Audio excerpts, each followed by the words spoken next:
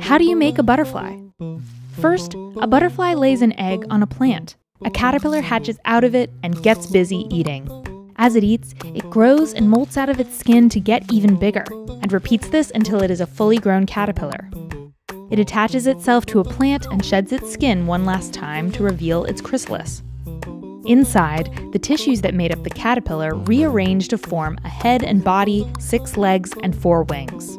Then, when its own genes and the climate indicate the time is right, out pops the butterfly.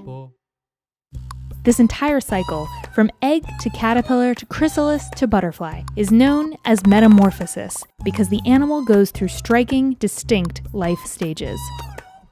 Now our butterfly will find a mate so it can start the butterfly life cycle all over again. See live butterflies, moths, and chrysalises in the American Museum of Natural History's Butterfly Conservatory, now in its 20th year.